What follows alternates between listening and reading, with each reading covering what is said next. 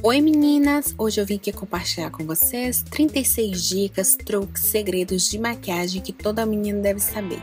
A maioria dos truques eu já conheço, já utilizo já há algum tempo, outros são novos que eu descobri agora, então decidi compartilhar tudo aqui com vocês, tá bom? Se você gosta desse tipo de vídeo, não deixe de dar o seu like aí pra mim e compartilhar também nas redes sociais. Agora vamos lá conferir as 36 dicas, truques e segredinhos de maquiagem. Primeira dica é cílios sem lambança, ou seja, você vai pegar aí uma colher aí da sua casa, da cozinha, e vai usar o cabo da colher para não melar as pálpebras com seu rímel, com sua máscara de cílios aí favorita. Então, você vai melar o cabo da colher, mas não a sua pálpebra. É praticidade total, meninas. A segunda dica é para as meninas que gostam, amam cílios bem curvadinhos. Precisar do seu convex, claro, e do secador, porque você vai pegar o secador e vai passar assim na borracha de leve. E antes de utilizar no seu cílios, você vai testar primeiro no seu dedo para ver se a temperatura tá ok e só depois passar a máscara. Vocês vão ver que realmente vai ter resultado e vai ficar bem mais curvadinho os cílios com certeza.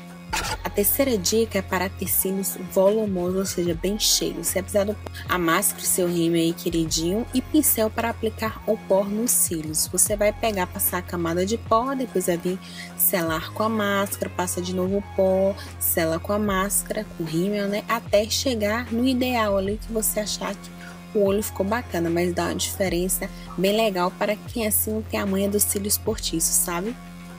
A quarta dica é para as meninas aí que tá com aquele rímel queridinho que ama e tipo, ele já tá duro, tá ruim de utilizar. Então vamos renovar ele.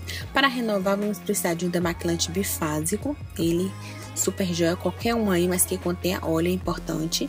Você também pode utilizar um bioóleo, que é um óleo natural, um óleo excelente, e também soro fisiológico. Você vai botar algumas gotinhas no seu rímel, na sua máscara, vai mexer até ver que tipo ficou legal a máscara do jeito que você gosta, tá? Vai adicionando uns poucos, só não poder deixar ela muito molhadinha.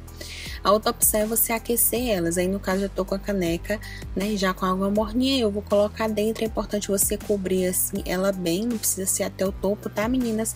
E aí, deixa um tempo lá. Vocês vão ver que ela vai sair novinha em folha. A quinta dica já é para quem aí ama aquela máscara, mas tipo, ela acabou, você não tá conseguindo achar, vamos renovar ela, basta você tirar o pincel da sua favorita e colocar na máscara que não ama tanto, porque o que faz realmente diferença nos cílios é o pincel, né? E não o rímel em si, ou seja, a tinta, né, preta assim da máscara, se é que vocês me entenderam. A sexta dica já é para as meninas que gostam de uma sombra assim bem pigmentada. Você vai pegar a sombra aí que você quiser, uma água termal e um pincelzinho de cerda sintética. Você vai umedecer com essa água termal e vai passar assim na sombra. Você vai ver que tipo vai dar uma vida nela sem igual. Aí eu tô passando, por exemplo, a sombra sem nada, somente a sombra pura e agora eu vou passar o pincel molhado sobre a sombra preta para vocês verem que realmente tipo dá resultado, pigmenta demais a sombra. Vale muito a pena testar em casa, tá, meninas? A sétima dica já é para você utilizar um produto de casa BBB, ou seja, o seu corretivo para depigmentar a sua sombra, que ela é clarinha, como essa daí da Vult, que eu amo, é bem clarinha, bem apagadinha, então para dar realçada nela, passa o seu corretivo, depois você vem com ela por cima, dá assim uma vida à sombra, tá? Seja ela de qual cor for.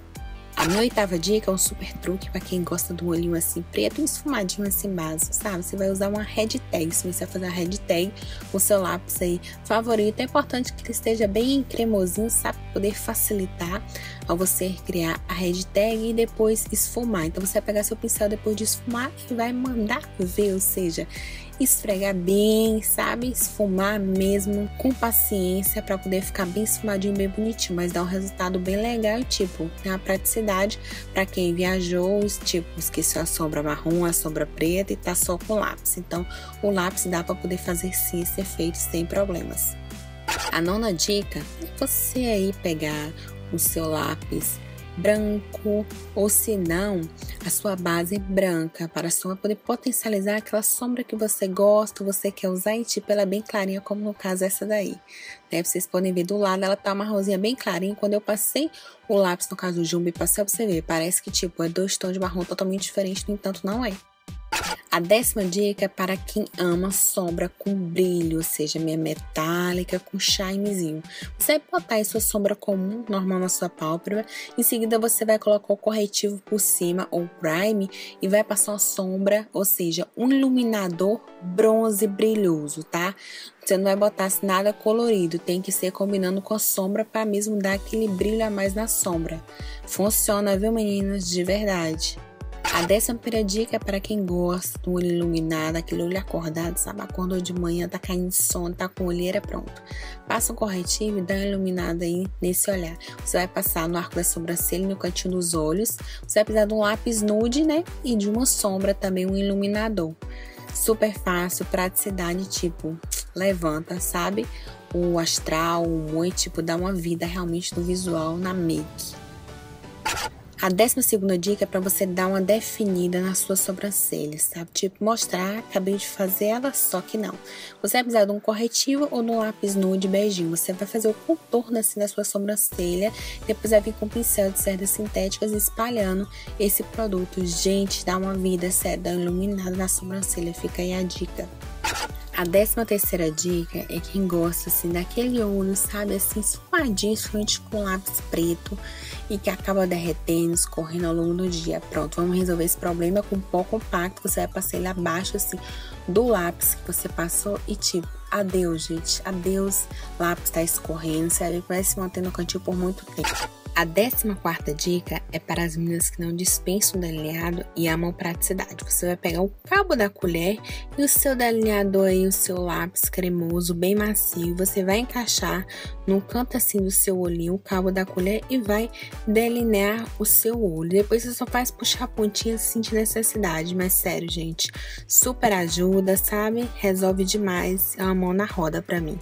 A 15 dica é para quem não dispensa um delineador também, só que viajou, ou seja, esqueceu de levar o delineador, um lápis, então pega aí sua máscara, o seu rímel e um pincel aí fininho, sabe, chanfradinho, que é joia, e simplesmente vai delinear o seu olho, isso mesmo, com a tinta aí da sua máscara do seu rímel, fica joia, tá? Funciona de verdade. O delineado ficou um pouquinho grosso, mas tudo bem, tá valendo. Só queria me mostrar pra vocês que funciona. A 16 dica é pra quem ama delineador também, somente assim, diferente, sabe? Colorido, pronto. Pega o seu pincel chanfradinho, fininho, molha ele e vai na sombra, de preferência as metalizadas, sabe? Com brilho, com shine. Fica ótimo, meninas. Então, você pode, assim, criar o seu delineador, assim, o seu até lápis de olho, sabe? Da cor que você quer. Ninguém vai saber que você utilizou pincel e sombra, então se joga droga. A 17 dica é para quem ama lápis, seja ele preto, marrom, bege, colorido, não importa. De repente ele tá ruim, tá duro, vamos lá. Usa o secador, vela ou se não fósforo para poder amolecer o lápis. Só como é que esses dois meus aí tá. Que é no caso, cada lado uma cor. Ou rosa meu, tá vendo? Ele tá meio ressecado, não tá macio e a cor não tá tão pigmentada. Eu tô ali agora aquecendo ele com secador e olha como é que ele ficou pigmentado. Nossa, demais, gente. É uma diferença assim gritante que dá no lápis, tá? Testem aí que vocês vão ver como que muda se assim, a textura e a pigmentação do lápis. O azul meu tá igual, tanto que vou aquecer ele com o fósforo ali. E olha só como ele ficou pigmentado depois. Sério, gente, é vida. Não esqueçam, anotem. A 18 dica é para quem ama aí delinear, sabe fazer aquele esfumadinho no olho, mas não gosta de estar tá manchando lá e depois ter que usar corretivo para ajeitar ou até mesmo remover maquiagem. Pronto, pega a fitinha micropore, tira a cola dela, encaixa assim no cantinho do seu olho e manda ver no delineado, no esfumado também. Arrase, amiga! A décima nona dica é para quem ama um glitter, sabe, um brilhozinho, aquele shine, pigmento nos olhos. Ó, no meu olho aí tá com bastante brilho e embaixo também caiu. Então pega a fitinha micropore, enrola no seu dedo e sai assim removendo excesso, ou seja, todo o glitter que tá na sua pele. Sério, gente, sai tudo. Testam aí, meninas, que vocês vão ver. A vigésima dica é para quem aí sempre tá lá com a máscara, com lápis e de repente borra. Quem nunca? Pronto. Pega o cotonete, molha na aguinha, senão vai no sua saliva mesmo. Somente se for passar em você mesmo, né? Eu mesmo tenho nojo, então de boa. Eu passo, tiro todo o excesso e fica tudo beleza. Tô linda, tomara, não preciso remover nada e tiro com maior facilidade. Às vezes você só precisa esperar secar um pouco para não poder borrar tudo, tá? A vigésima primeira dica é para quem aí quer esfoliar os lábios de forma prática e rápida, ou seja, passa o hidratante seu labial nos lábios e pega a sua escova de dente e sai esfoliando os seus lábios. Você vai ver que as pelinhas vão sair com facilidade logo que você remover, ou seja, com lenço, guardanapo, né? Esse excesso de hidratante labial dos lábios, você vai perceber que seus lábios estão macios e prontos para poder assim desfilar por onde eles forem, inclusive com batom assim mate. A vigésima segunda dica é para ter aquele batom mate nos seus lábios perfeito, né? Claro que você já esfoliou ele, né? Não tá ressecado nem nada, mas vamos passar um hidratante labial, de preferência o menos hidratante assim possível, com muito brilho. Vocês vão ver, gente, que vai dar resultado se realmente seus lábios estiverem um pouquinho secos, sabe? Batom vai ficar lá, se manter por mais tempo melhor, não vai craquelar com facilidade e pior, não vai mostrar aquelas pelinhas se levantando, sabe? A vigésima terceira dica é para quem quer criar aquele batom nude que nunca encontra ou que ama e nunca acha ele no mercado, né? Que esgotou. Pronto, você vai pegar um hidratante labial com cor, de preferência o mais próximo do nude que você goste, e vai pegar um lápis nude ou bege opaco, passando assim por cima desse hidratante labial que você passou, desse gloss, desse balm. Vocês vão ver que tipo vai ficar um nude lindo, lindo, lindo e tipo exclusivo criado por você. A 24 dica é para quem quer ter aquele batom cintilante, mas ao mesmo tempo mate ou até não, né? Que tá na moda agora batom cintilante, não dá para sair comprando a né, gente tudo que lança, ainda mais nesse momento de crise. Então pega aí um batom que você gosta, a cor que você quer, que você imagina ele assim cintilante. Pega uma sombra cintilante similar e coloque em cima, gente, vai dar uma cintilância, um brilho sem igual. E se quiser deixá-lo mate, só depois vir com um pouco compacto translúcido por cima, tá meninas? A 25 dica é tornar o seu batom favorito mate, caso ele não seja. Você vai passar simplesmente um pó por cima translúcido, tá? Dando leve batidinhas até dar aquela cobertura perfeita matificada nos seus lábios no batom. A 26 dica é um batom mate exclusivo que você vai criar só seu. Você vai precisar de corretivo e sombra, a sombra que você assim escolheu para ser a cor do seu batom, tá? que vai fixar e não vai transferir de jeito nenhum, gente. Sério, passe corretivo, vai parecer que vai ficar um negócio estranho, feio, mas vai dar certo. Depois você vem com a sombra sobre o seu corretivo e coloca, depois faz o contorno corretivo, se borrou. A 27 dica é para quem quer ter lábios volumosos, tipo da Kylie Jenner, sabe? Que todo mundo aí, né, tá querendo, desejando aqueles lábios né? Que não é feito de maquiagem, que a gente sabe, mas abafa o caso. O que você vai precisar de um lápis de contorno marrom, mais um pincel de lábios, ou se não fininho, para poder te ajudar no contorno labial e um batom nude aí de tua preferência. Primeira coisa, você vai contornar os seus lábios com lápis de contorno marrom que você separou. Lembrando que você vai arredondar esse vizinho aqui dos nossos lábios superiores. Em seguida, você vai vir com o seu batom nude, passando assim sobre os seus lábios. Se você quiser deixar ele mate taco translúcido, se não, deixa assim como eu deixei si só, que já dá um resultado. Olha o bocão. A 28 dica é batom vermelho perfeito. Quem não gosta do batom vermelho, né, gente? Agora, batom vermelho tem que ser bem passado, senão não fica legal, não vai rolar. Primeira coisa é ter os lábios hidratados, né? Tá hidratando ele, fazer aquela esfoliada que eu já ensinei para vocês antes, com escova de dente e passar corretivo em volta, gente, depois que você passa seu batom vermelho. É muito importante você passar de forma realmente detalhada para poder deixar ele perfeito nos seus lábios, tá? A 29 dica é para quem ama batom vermelho ou batom escuro e vem e mexe, tá com os dentes melados de batom. Quem nunca, né? Às vezes acontece comigo. Então a dica que eu dou é você pegar um lenço, papel higiênico para poder colocar entre os seus lábios apertar assim levemente, pronto, você vai tirar o excesso de dentro, né? E não vai ter esse problema de o batom ir pro dente, porque foi pro papel. Senão você pode utilizar também o seu dedo para remover o excesso, colocando assim no meio e encostando um lábio no outro. Pronto. Problema resolvido. A trigésima dica é para quem aí acordou com o rosto inchado e quer que a make dure mais tempo. Você vai pegar gelo e vai passar antes na sua pele antes de produzir a maquiagem em si. No caso, eu tô com o meu Skin Cooler, que eu amo, comprei já há muito tempo, tem anos já na Magazine Luiza na época, nem sei se vende mais aqui, mas tipo, é amor, xodó, dá uma vida, sabe? Dá uma acordada, além de ajudar no inchaço assim do rosto e a durabilidade da maquiagem. A 31 primeira dica é para quem quer e para quem gosta de uma pele hidratada e renovada. Você vai utilizar água termal ou se não água de coco. Porque que não tem ingredientes na composição que vai ajudar, né, a nutrir assim, a nossa pele, dar mais vida, mais viço. No meu caso, eu estou utilizando essa água vitaminada da Marine Smith que eu amo. A 32 dica é para quem gosta, para quem quer ter uma pele bronzeada. Nesse momento, quem gosta de tomar sol não é o meu caso, mas vale a pena compartilhar com vocês a dica.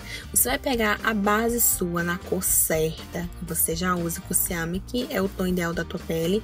E outra, três tons mais escuros, se não sombra mesmo escura, para você, sabe, ir jogando assim, preferência marrom, tá? Você vai acrescentando de pouquinho em pouquinho e vai mexendo até chegar no tom que você vê que vai ficar legal no seu rosto.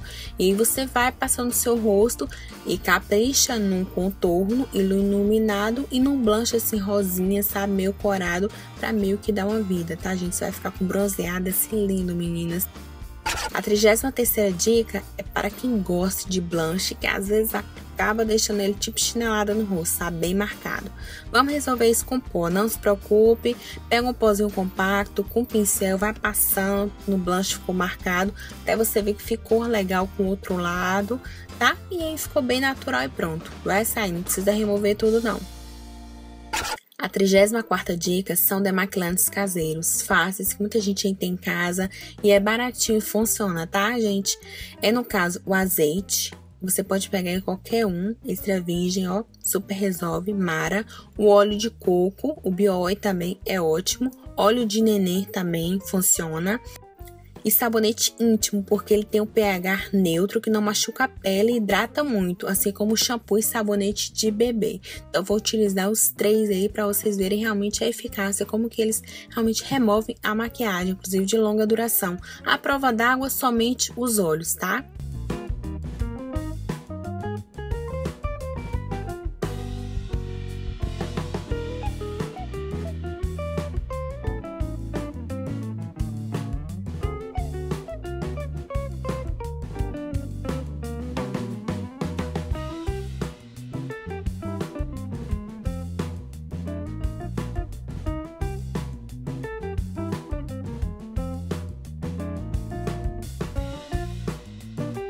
A 35 dica é para quem comprou ou tem uma base muito escura e não tem como trocar, não vai jogar fora. Vamos resolver. Você vai pegar um protetor solar, um hidratante que você já utiliza e vai misturar até chegar no tom ideal na tua pele, tá? Vai adicionando aos poucos até você ver que ficou um tom assim similar ou igual ao tom da tua pele verdadeira.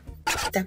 A 36 dica e última é você criar o seu pincel de contorno, que eu sei que muitas meninas não têm e, tipo, ele faz toda a diferença na make, né, gente? Porque passar um de blanche, um de pó, não fica tão legal, então ele tem que ser um pouquinho mais fininho, mais estreito. Pois bem, você vai pegar o seu pincel de blanche ou até de pó, dependendo do tamanho dele, e grampos de cabelo.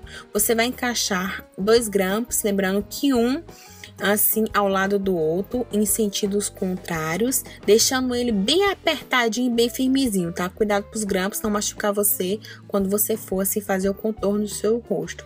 Mas sim, super funciona às vezes quando viajo e tipo, esqueço o pincel de contorno, isso é o que tem me ajudado, sabe? Na improvisação, porque eu não vivo sem contorno com esse rotinho redondo. Então é isso, meninas. Espero muito, muito, muito que vocês tenham gostado assim do vídeo, sabe? Tentei assim realmente compartilhar todas as dicas com vocês que eu já conhecia, que eu conhecia há pouco tempo. Eu juntei todas e compartilhei aqui. Então espero de verdade ter acrescentado um pouquinho aí na sua vida e belezística, tá bom? Se você gostou, não deixe de dar o seu joinha, de compartilhar com as amigas, se inscrever no canal para não perder mais nenhuma diquinha daqui do nosso cantinho virtual. Beijo gigante, muito obrigada por ter assistido. Deus abençoe todas vocês. Tchau!